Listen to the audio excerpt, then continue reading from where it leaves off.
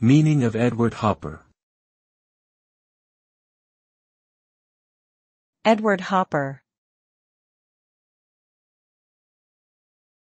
Edward Hopper. Edward Hopper. Edward Hopper. Edward Hopper was an American realist painter and printmaker. He is known for his melancholic paintings of urban and rural life in the United States, often featuring solitary figures or empty spaces. His use of light and shadow creates a sense of isolation and introspection in the viewer.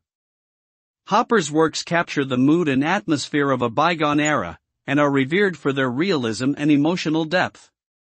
Overall, Edward Hopper is considered one of the most influential artists of the 20th century.